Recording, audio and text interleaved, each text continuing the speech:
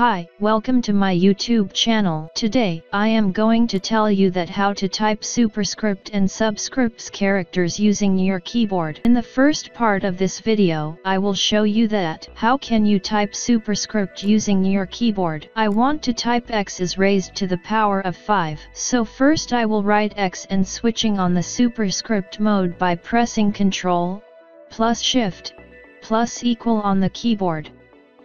Now I will write 5 as superscript character. So you can see the result immediately. Now, if you want to close the superscript mode, you have to repeat the same process, press Ctrl, plus Shift, plus equal. Now you can see the normal text.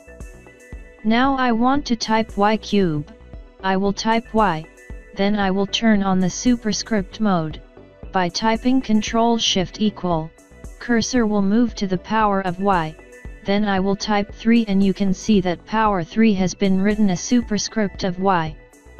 For writing other things, you will have to turn off your superscript mode for this. Again type Ctrl Shift equal similarly, now let's move to the second part of this video, how to type the subscript characters using your keyboard. Now I want to type the chemical formula of water which is H2O. So first I will write H, and switching on the, the subscript mode by pressing Ctrl plus equal on the keyboard. Then I will type 2 on subscript.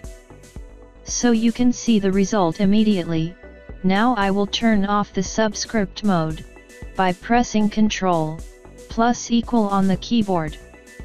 Now you can see the normal text. At last I will type simply O, so the chemical formula of water is on the screen. Similarly you can type formula C12. So, this is how you can do it.